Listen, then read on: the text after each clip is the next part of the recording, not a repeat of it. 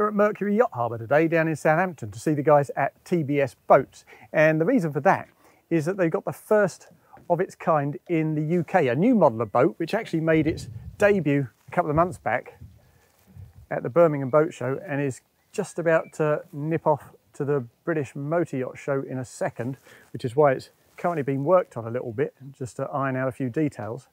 But it's called the Sealine S390 and it's a very clever and impressive boat in a lot of ways, as you might expect, because of course as a Sealine, it still uses the design input of Bill Dixon, who has to be, I think, one of my favourite designers of all time.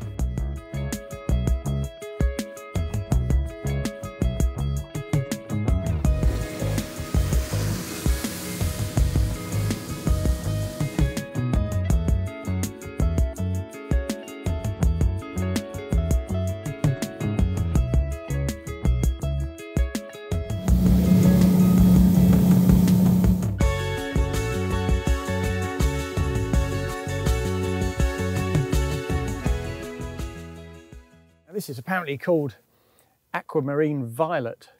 And I hope you can pick this up. It kind of alters its hue depending on the angle you look at it. But of course, because we have so many angles on this boat, it almost does that for you. It looks fantastic out on the water. And another really key feature of this boat, one which kind of defines the S390 experience before you even step on board, is the beam. I mean, look at that beam. This is a 39 foot four boat with a beam of 12 foot 8, that's pretty much a third of its overall length. It's a huge beam. And like, like the Jeanneau DB37 that we saw a few months back in Dusseldorf, it really maximizes its use of that beam by having a hard top that uses stanchions right on the outside. So every single bit of that beam can be used for the internal cockpit. But unlike that Jeanneau, which had huge fat stanchions and a fairly simplistic one-dimensional hardtop, this has very narrow stanchions as I'll show you right now. It's because inside these mouldings we have nice thick strong steel bars going up into that hard top. It means it can look quite elegant and low profile but still do all sorts of clever things as you can see in a way that the Jeanneau DB37's hardtop simply does not. Now as you step forward into this big cockpit, of course space is a major plus point and we'll talk about that in a second. But on the way in, we have the transom shower, which makes good sense. What makes less sense, of course, is the fact that we have the shore power on the starboard side. Because, of course, this is an asymmetrical layout, an L-shaped seating area.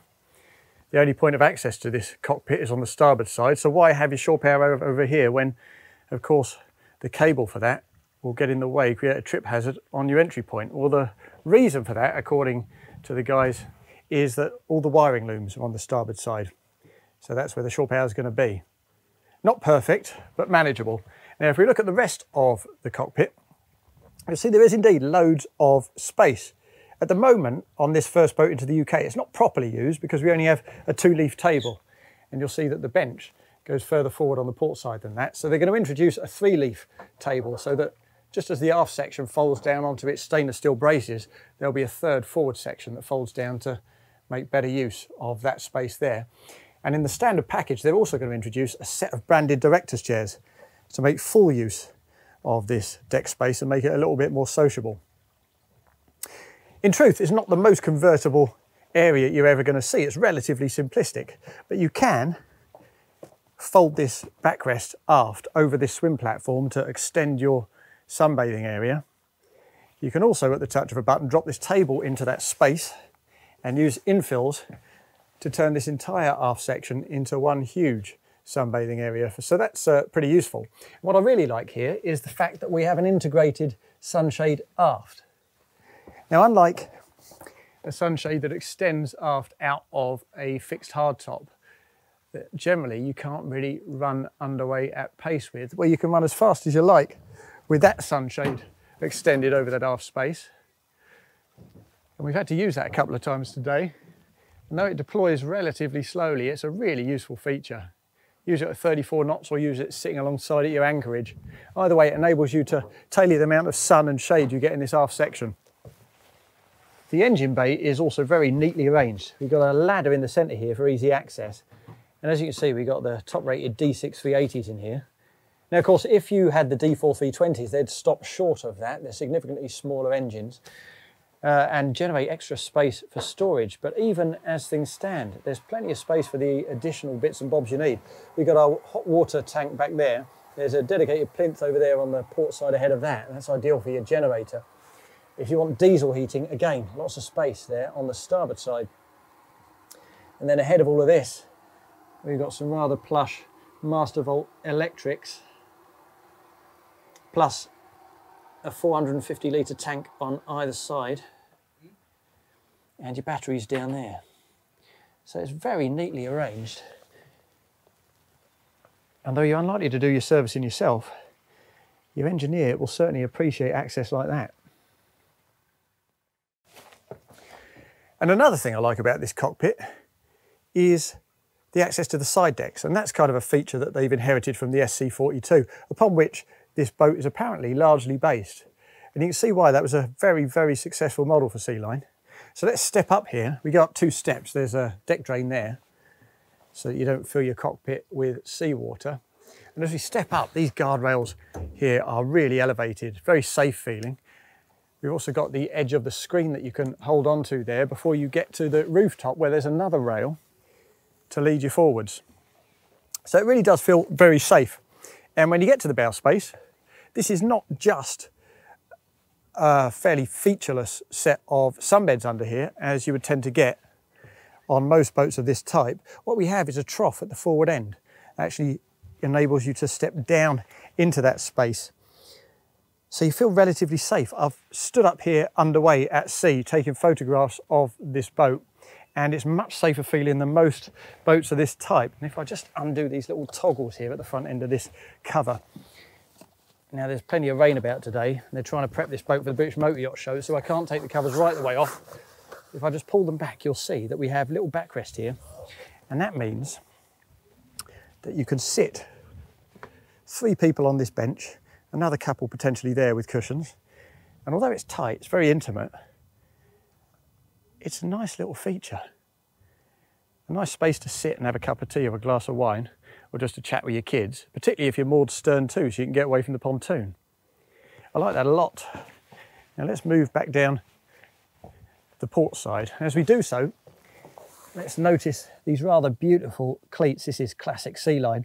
They've always gone for massively over-engineered pieces of uh, steel that you could uh, quite easily put on your coffee table as conversation pieces way out of proportion to the size of the boat, I would have thought, but they're rather lovely. I like those a lot. And as we make our way aft and back down into that cockpit, it's also good to see that although the hard top bulges out a little to encompass the full beam aft, it is not particularly a risk in terms of hitting your head. You go down below that level before you actually step in. And either way, there's no right angles. It's quite a smooth, linear sort of um, design. So there's no prospect of knocking yourself out as you try to make your way around this boat. So accessibility all round is very good indeed. And now we're back in the cockpit. Another interesting feature is the way they've set up these wet bars. Now, as you can see, we've got a big, wide central companionway. It leads you right up onto that slightly elevated helm section and then down into the forward cabins. But I do like the way they've split this wet bar into two. So to starboard, we have a pair of sinks and a work surface with some additional storage trays. We also have additional storage underneath there and a handy grab rail, plus a lot of your switch gear for the tables and for the sunshades and so on. And on the port side, we have a fridge, a good size of fridge in there, you can also spec this boat with an ice maker on this starboard side, plus a barbecue just here, and another little storage space with a work surface. So that's really quite a nice arrangement. It feels very wide and open. And although this boat comes with a, uh, a galley down below as standard, there are no options for these as it stands. So if you're content with the galley down below, you can't just spec these as aft-facing seats to make this cockpit more sociable. This is how it is. But for most people who will pick this boat as much for its day boating credentials as its cruising credentials, this is going to make a lot of sense. Now let's take another step up to this helm station and cast our eyes to the port side. Now here we have elevated mouldings and you know exactly why that's happening because they want to factor in extra space, extra volume down below for that mid cabin. Now quite often you'll see this achieved by means of an elevated sunbed on the port side, but that for me doesn't make any sense at all. Now as I look at this seat, that doesn't appear to me to make a great deal of sense either. It seems kind of trapped halfway between a seat and a sunbed with virtually no uh, dip below the seat level to put your legs. But actually, it's a tremendously comfortable place to sit underway. Really secure, and you can brace your feet against this angled moulding. Sit your kids up there, get great views, but you're very secure. It's really impressive. I've been surprised by it, and I, spent a good 10, 20 minutes sitting in that as we uh, played out on the water. So it's very impressive indeed. I like it a lot. We also get a pair of cup holders up here, plus some more storage drained. And as you'll see, we've got a big uh, glass section on the top there to admit some extra light down below. Plus a similar door so that we can drench this lower lounge in natural light. And let's pop down there right now and take a little look because it's well worth looking at. Now back off to the starboard side and look to port. What we have there is basically uh, a lounge.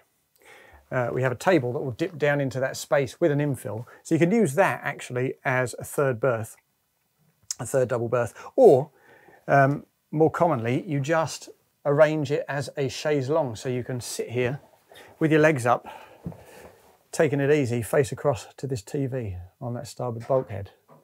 And as you look to the starboard side, we can of course now see that galley in all its glory. And I use that word advisedly because I think it's a really impressive place. What we have here is a gas hob with another opening porthole to get rid of the fumes and the smells and the humidity. That's quite low level. Eye level's about here, so you can't see anything but the water, but it's well worth having nonetheless. And you can of course spec that as an electric hob instead if you prefer.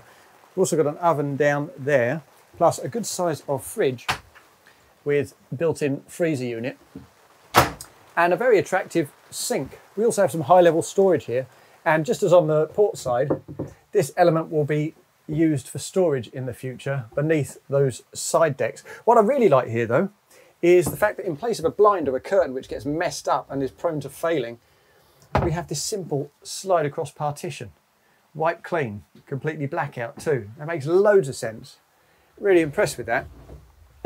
And another thing I quite like in here actually, if we look down, is the fact that we don't have any little ring pulls or handles to open these uh, deck hatches. What we have, in fact, is this. That's not a gear stick for your galley. That's actually a little plunger. So we hit that down, lift it up, job done. Now, of course, it looks very clean and tidy, and it's relatively cheap and affordable and simple, and there's nothing to go wrong except losing these things. So if you buy this boat, you'll probably need 20 or 30 of those if you're anything like me to make sure you have access to your underdeck spaces. Now on either side of this television, above and below, we have the distribution panels. And here in the heads compartment, although that galley is well worth having and is a decent size, we've still got decent four and a half space for a proper bathroom in here. So we have a sink, again with low level window and porthole, and we have the toilet rather sensibly positioned in the shower to maximise use of that footprint. Now this is of course the day heads as well as the ensuite for the forward cabin. You'll see there's the door to the forward cabin. We'll close that up and we'll go and have a look at the forward cabin right now. And I say that that's a uh, good use of the space in the heads compartment by putting that toilet in the shower because it means you don't have to shorten the bed or shorten the space in here. And this is a very impressive cabin for a boat of this scale. And the first thing you notice is light. I mean, that's fantastic. Really good. That's that little trough that we had our feet in on the foredeck earlier, the little seating area. So that's great. We also have big wraparound windows there. And if you want even more light, just remove those cushions from those foredeck sun pads and the entire space is absolutely drenched in natural light. It also helps actually that we have an option here.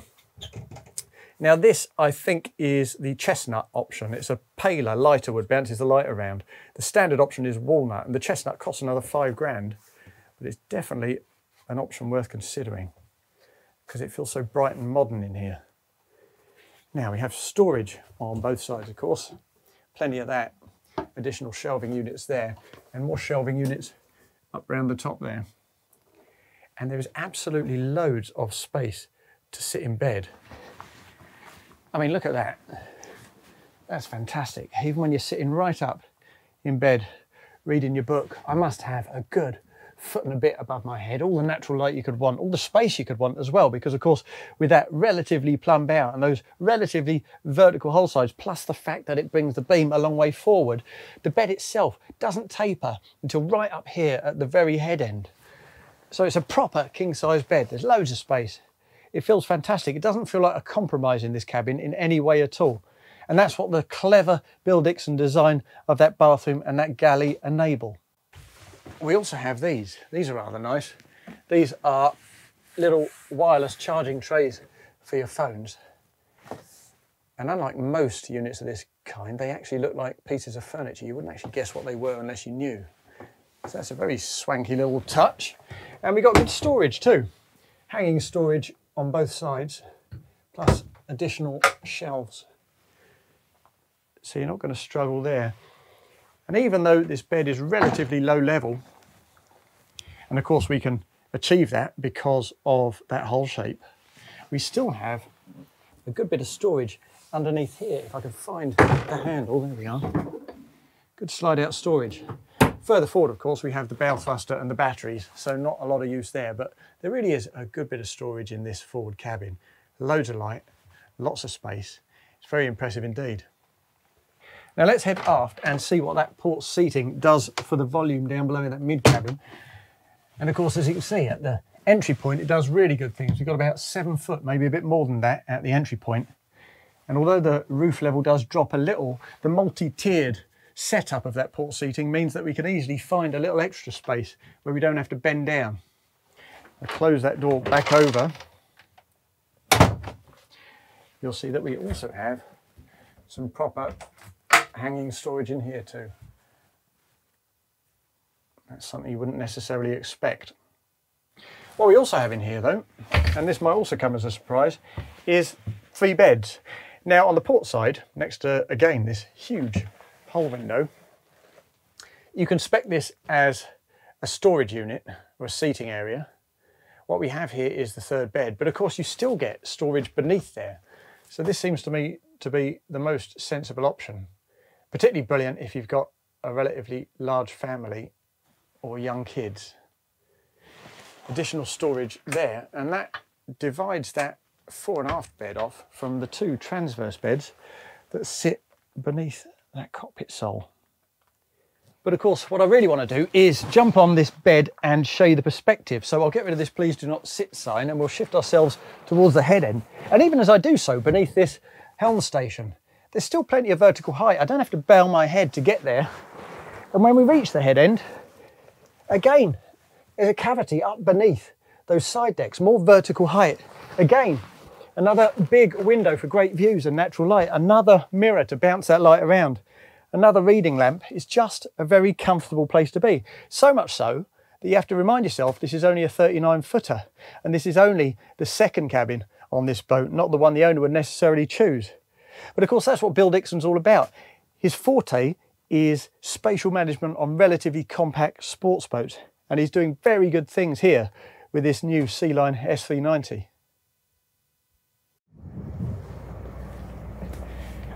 Now this helm position feels pretty good to me. There's plenty of space here on this bench for a couple of people, a couple of relatively cosy people, but it's uh, pretty serviceable nonetheless. And we also got this little bolster mechanism that enables you to perch yourself up a little bit. And if you're six footer like me, when you do so, the fiberglass mouldings at the top of the screen do get slightly in your way. But you do also have a fold down uh, platform at the bottom there, so you can elevate yourself, stand right up look out over the top of those mouldings when you're coming alongside, communicate with people on the pontoon. So that's a very practical touch. And we've also got a little bit of fore and aft adjustment on this bench, plus some handy adjustment at the wheel. So it's a very comfortable spot, but I'll pop that bolster down right now. Now we've got a, a fairly simplistic dash. It's not huge, but it's got everything you need. All your various data displays in the right position, directly above the, the wheel there. A little bit of switch gear to the left-hand side. Our tabs are on the left-hand side too, which I don't personally like. We've got space for them over here on the right-hand side next to your throttle, um, which is where I would relocate them to. And uh, it's no problem at all for the guys here to enable that for you. And visibility is of course fantastic. Now, we've got a bit of glare on these uh, this MFD from the overhead sunroof, but I'll take that any day because I've seen this boat in action. There's plenty of game heel. It drives like a bit of a sports boat. So when you heel around to port, if you've got a filled in roof space over your head, then you can't really see much on the inside of the turn. So this is a, really great solution for that. And we do have options, of course, for these windows. I mean, if you have this filled in all the way, then you can have as an option uh, an opening window here so you can communicate with people on the pontoon that way but it feels good. It's very, uh, very comfortable. It's quite sociable. There's plenty of adjustability and really good visibility. So let's pop her on single lever, trim her in, get her up and underway and see how she actually performs. Now we do have options with this boat in terms of the engines.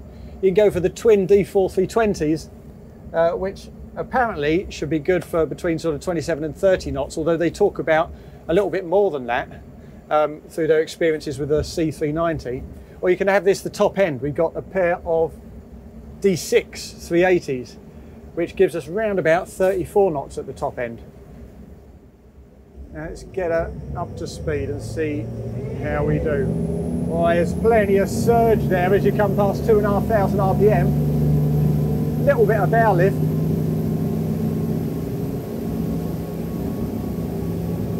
Give her a little bit more trim she settles right down. And here at 30 knots, well, at 30 knots, she feels quite efficient. And as I look at the information on the gauges, that's very much backed up. We're seeing about 120 litres disappearing from our fuel tanks, 4 litres per nautical mile. That's very serviceable for a boat of this scale. And actually, we've had a little play with her this morning, and at everything between 20 and 30 knots, that remains pretty much unchanged. Four litres per nautical mile, so that's a really handy cruising band. And while of course it does go a bit south towards the top end, around about 34 and a half knots, you're always going to expect that. Let's trim her back in, put a few more revs on and heel around to port. Look at that heel. Oh, that is fun. And I've got a vast open view through this sunroof. I don't have to stoop to see what I'm looking at on the inside of that arc. It's so easy. And it, you can plane at relatively low speeds as well. 17, 18 knots, no problem. You can actually feel her skimming across the waves. The, the nose is relatively level. We're not pointing skyward. We've descended off our hump. The ride softness seems decent too. Let's lean her over to starboard and take a little turn that way. And you'll see we're basically looking right down at the sea here. If you're into your driving, that's just a very satisfying thing. It's nice to feel those G-forces. It's nice to feel pressed into your seat rather than shifted sideways on it. Of course, these D6 380s, just going to our own weight here a little bit, the D6 380s, they do add about 100 kilo each, so a couple of hundred kilos to the back end of the boat. But this boat seems very deserving of it. I can't help feeling it would be a little bit underpowered with a pair of 320s.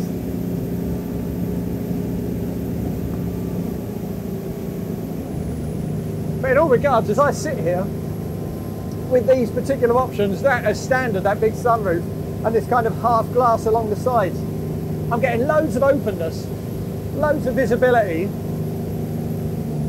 loads of capacity to reach people on the pontoon, chat to people, but at the same time, I'm entirely protected in this position.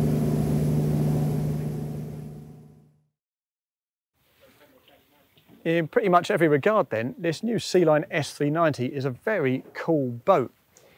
Now of course, if you need an extra cabin or an extra heads compartment, you need to look towards the C390. Which incidentally is also available with outboard engines, which is something the S390 is not.